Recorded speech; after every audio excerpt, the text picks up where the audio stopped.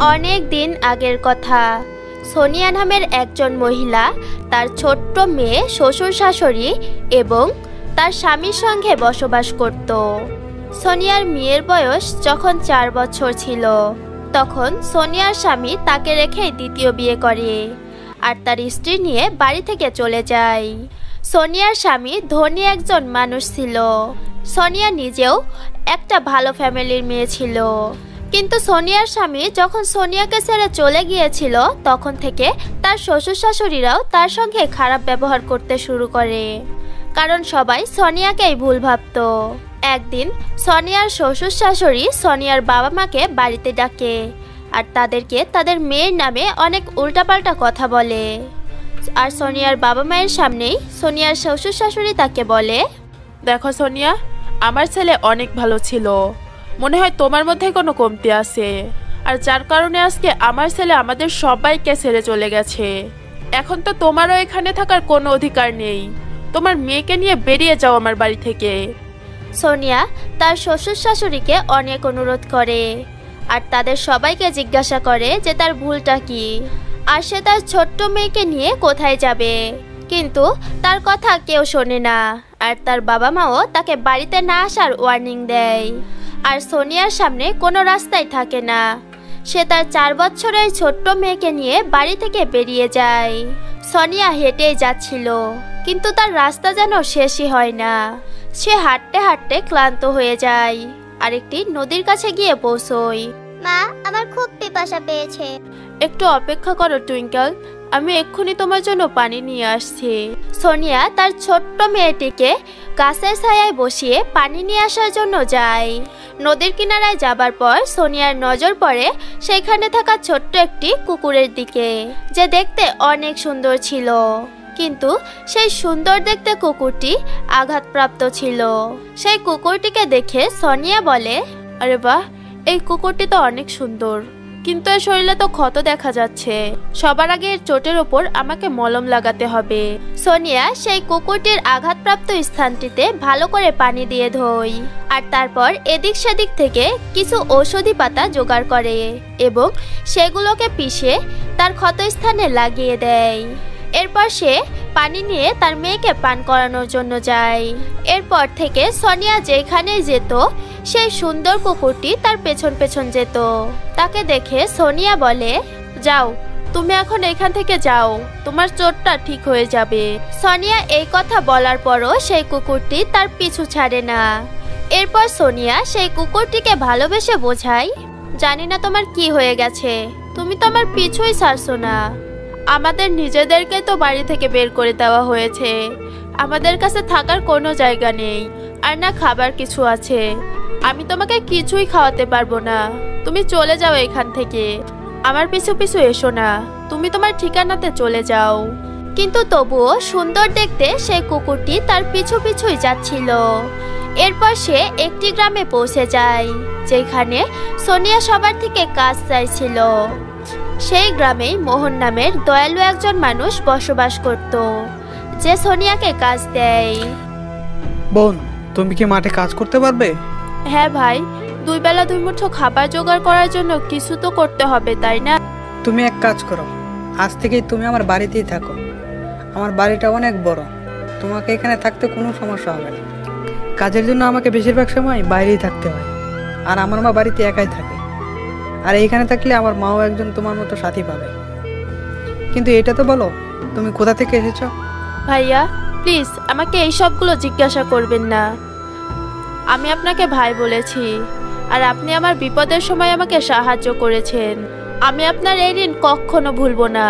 এরপর মোহন সেইখান থেকে চলে যায়, আর সোনিয়া তার মেয়েকে সাথে করে সেইখানেই থাকতে শুরু করে। আর তাদের সাথে সেই ছোট্ট সুন্দর কুকুরটিও সেই বাড়িতেই বসবাস করত। সে খেতে কাজ করার সাথে সাথে মোহনের মায়েরও দেখাশোনা করত। এইভাবেই দিন কাটছিল, আর দেখতে দেখতে এক বছর হয়ে যায়। এখন টুইঙ্কালও পুরো পাঁচ বছরের হয়ে গেছে। আর সেই ছোট্ট কুকুরটিও কিছুটা বড় হয়ে গেছে। আর সে দেখতে আরও সুন্দর হয়ে গেছে। একদিন রাতের বেলায় সবাই খাবার খেয়ে ঘুমিয়ে পড়ে। আর সকালে উঠে সোনিয়া সেই কুকুরটির কাছে যায়। আর সে খুব মনোযোগ দিয়ে দেখে যে সেই কুকুরটির চোখে অশ্রু ছিল। সে তাড়াতাড়ি সেই কুকুরটিকে কোলে তুলে নেয় আর বলে কি হয়েছে তোমার? তুমি কাঁদছো কেন? তোমার ক্ষুধা পেয়েছে? কোথাও আঘাত পাওনি তো তুমি? সোনিয়ার এই কথা শোনার পর সেই কুকুরটি অনেক সুন্দর একটি পরিতে রূপান্তরিত হয়। এরপর সেই পরি বলে, আমার চোখে এর জন্য অশ্রু নয় যে আমি কোথাও আঘাত পেয়েছি। এই অশ্রু তো আনন্দের অশ্রু। এসব কীভাবে হলো? আর কে তুমি? আমার নাম সিন্ড্রেলা, আর আমি একজন পরী। অনেকদিন আগে একজন জাদুকর্ণী আমাকে কুকুরের বাচ্চা বানিয়ে দিয়েছিল। আর তখন থেকে আমি এইভাবেই আছি।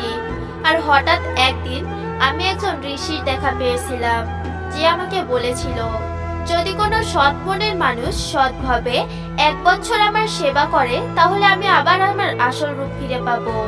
আর তুমি এক বছর পর্যন্ত খুব ভালোভাবে আমার সেবা করেছ। আমি চিরকাল তোমার উপর কৃতজ্ঞ থাকব।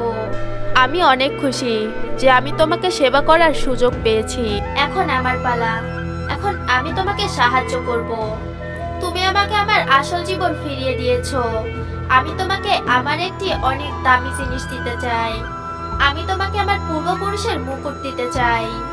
আর আমার কাছে সেইটার থেকে মূল্যবান আর কোনো কিছু নেই। আমি তোমাকে এই পৃথিবীর সব থেকে মূল্যবান জিনিসটাই দিতে চাই। আর এর কারণেই আমি তোমাকে আমার পূর্বপুরুষের পুরনো মুকুট দিতে চাই। আর আমার পুরোপুরি বিশ্বাস আছে যে তুমি আমাকে না বলবে না। কিন্তু পরি ওটা তো তোমার পূর্বপুরুষের মুকুট। ওইটা আমি কীভাবে নিতে পারি বলো? আমার খুশির জন্য এটা তোমাকে নিতেই হবে। ওই মুকুটের অনেক শক্তি আছে। এইটার সাহায্যে তোমার যা ইচ্ছা তুমি তাই করতে পারো। যা ইচ্ছা বলেছি তো যা ইচ্ছা তাই করতে পারবে। এটা বলে সিন্ড্রেলা পরি সোনিয়াকে তার পূর্বপুরুষের মুকুটটি দিয়ে দেয় আর সেইখান থেকে অদৃশ্য হয়ে যায়।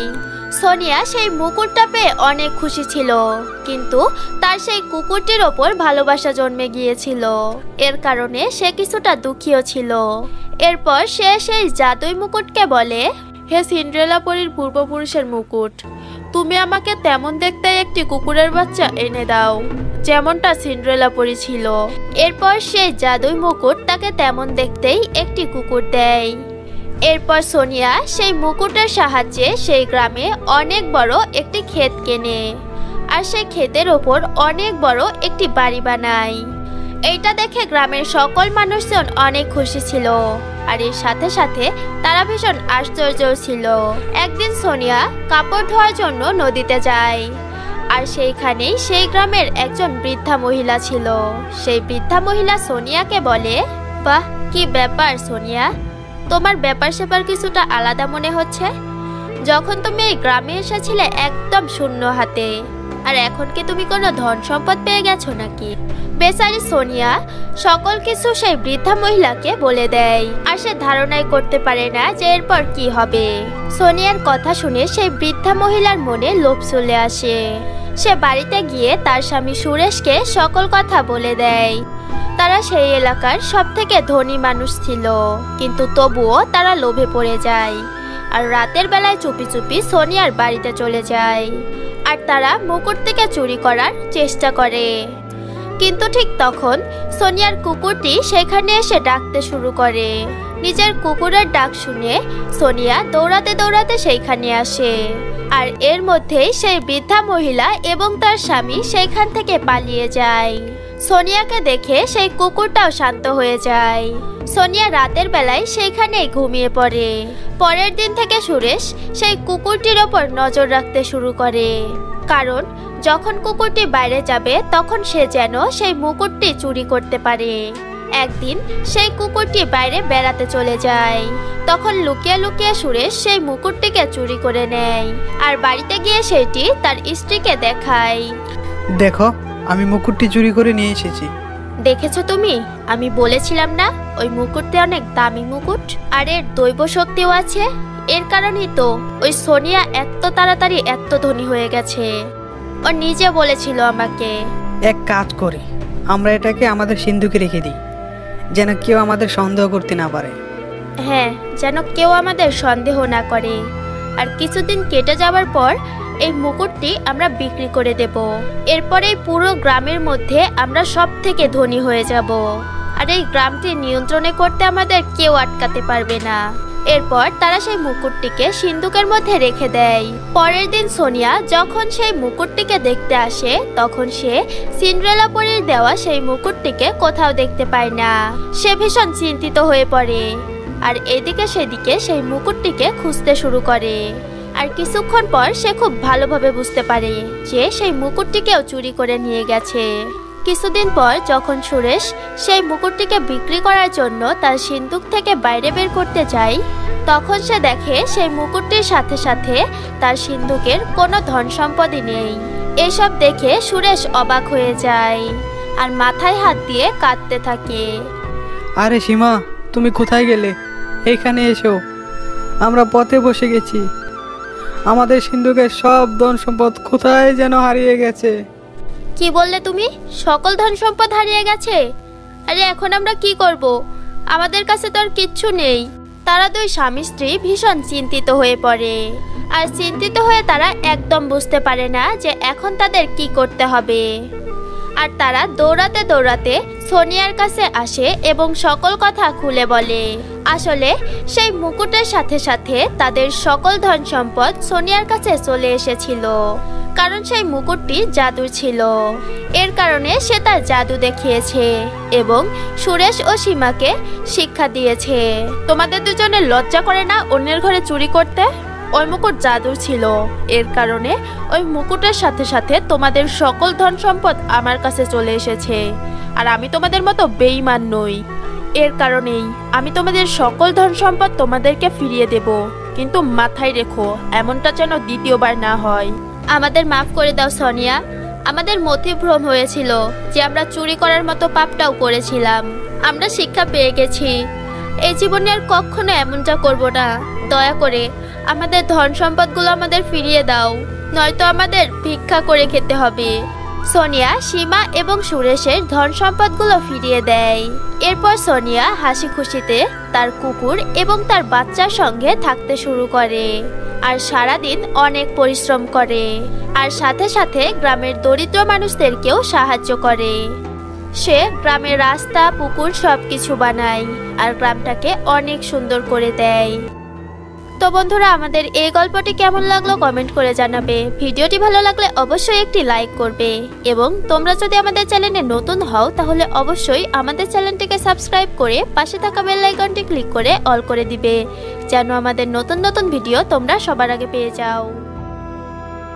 কোনো একটি গ্রামে সীমা তার বৃদ্ধা দাদি এবং বাবার সঙ্গে বসবাস করত। সীমার চেহারা সুন্দর ছিল না, কিন্তু সীমার ব্যবহার অনেক সুন্দর ছিল। সে সব সময় অন্যদের সম্মান করে কথা বলতো।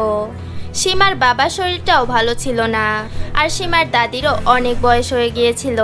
এর কারণে তারা দুজনের একজনও কাজ করতে পারতো না।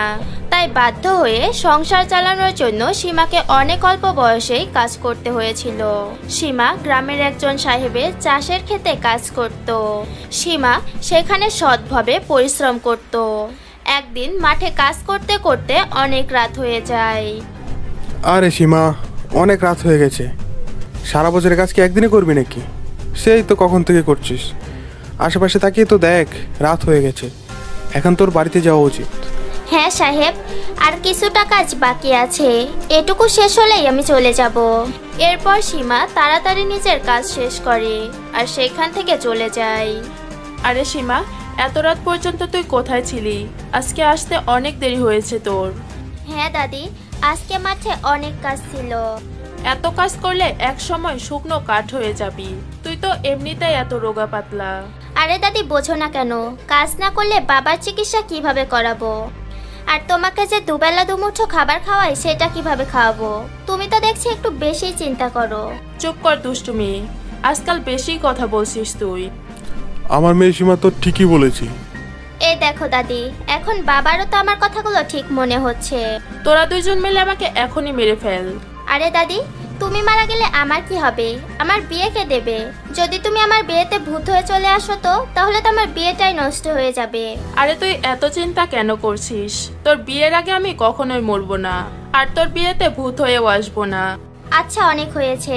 এখন বলো কি বানাবো আর তুমি কি খেতে চাও? তোর বাবাকে জিজ্ঞাসা কর ও কি খাবে?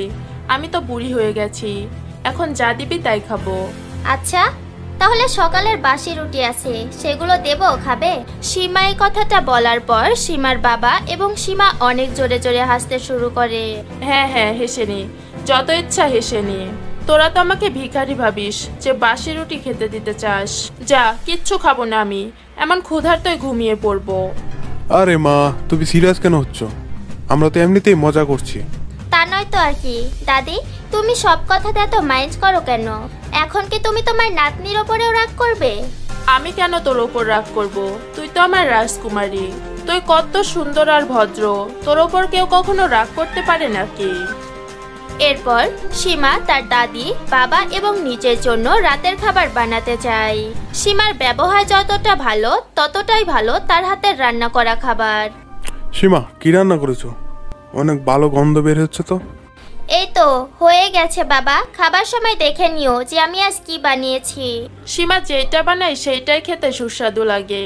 কি ঠিক বলেছি তো আমি? ঠিকই বলেছ মা। আমাদের সীমা খুবই গুণবতী। এখন চুপ করো। আমার প্রশংসা করতে করতে কি নিজেদের পেট ভরাবে? নাকি আমার বানানো খাবারগুলোও খাবে? আরে না না আমার তো খুব ক্ষুধা লেগেছে। আমার খাবার এখনই খেতে হবে। হ্যাঁ হয়তো মায়ের হয়তো বা ক্ষুধা লাগেনি। এই জন্য হয়তো তোর প্রশংসা করে মা পেট ভরাচ্ছে। এটা বলে সীমার বাবা এবং সীমা অনেক হাসে। আরে সীমার প্রশংসা কেন করব না? ও তো অনেক ভালো। আর শুধু আমি কেন? কেউ ওর প্রশংসা না করে থাকতেই পারবে না? এরপর তারা খাবার খায়। আর প্রতিদিনের মতো সীমা থালা বাসন মেজে তার দাদির কাছে ঘুমোতে যায়। দাদি তোমাকে একটা কথা জিজ্ঞাসা করব? আচ্ছা জিজ্ঞাসা কর। কি জানতে চাস তুই? দাদি আমার মা কেমন ছিল? আর উনি মারা গেলেন কীভাবে? তোর মা একদম তোর মতো ভদ্র আর সভ্য ছিল। তোর ভেতরে যত গুণ আছে সব তোর মায়ের গুণ। তোর মা দেখতে অনেক সুন্দর আর ফর্সা ছিল। আচ্ছা যদি আমার মা এত সুন্দর আর এত ফর্সা ছিল তাহলে আমি এমন কেন? আমি তো না সুন্দর আর না ফর্সা। আমাকে তো কোনো ছেলেই পছন্দ করে না। আরে তুই এমনটা কেন বলছিস? তুই অনেক সুন্দর। আর মানুষের চেহারা সুন্দর হলে কি সুন্দর হয় নাকি? মানুষের ব্যবহার সুন্দর হলে মানুষ সুন্দর হয়।